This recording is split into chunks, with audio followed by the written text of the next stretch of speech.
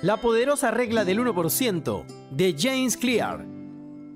Cada día al levantarnos tenemos dos opciones. La primera es la de mejorar un poco y la segunda es la de empeorar un poco.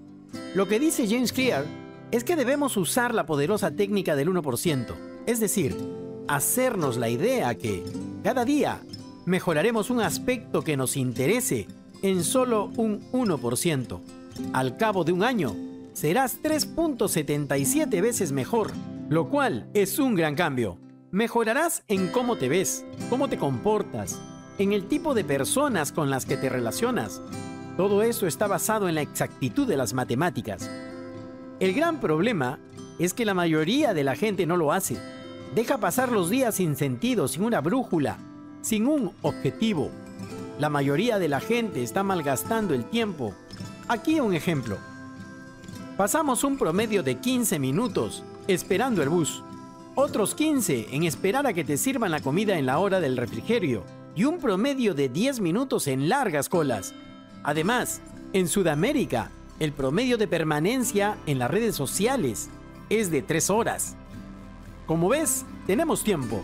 Esta regla nos dice que debemos tomarnos 20 minutos al día para dedicarlo a aprender algo sobre desarrollo personal cómo ser mejores y crecer en todo lo que nos hace humanos, ya sea leyendo un libro, escuchando o viendo videos de entrenamiento en Internet.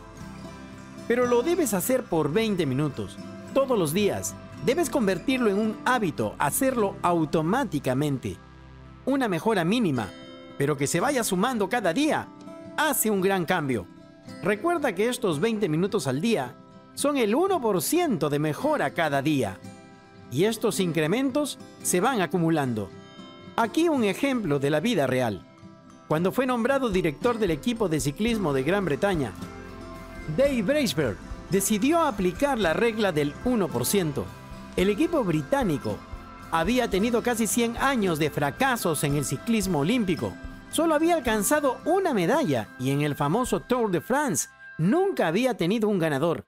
Tanta era su mala fama que un fabricante de bicicletas se negó a venderles bicicletas porque su marca se vería afectada por la mala performance del equipo. El entrenador aplicó la regla de ganancias marginales, es decir, aspiraba a ganar un pequeño avance en cada uno de los aspectos del ciclismo, un 1%. De esta manera, se obtendría un gran cambio cuando estos se ejecuten al mismo tiempo. Fue así como puso manos a la obra. Lo primero fue diseñar un asiento más cómodo, aplicaron alcohol a las ruedas para que tengan un poquito más de tracción. Diseñaron los shorts para que mantengan la temperatura muscular ideal. Fueron los primeros en usar equipos de medición para la biorretroalimentación y determinar cómo respondían los ciclistas a determinada forma de entrenar. Probaron diferentes telas para que sean más livianas y aerodinámicas.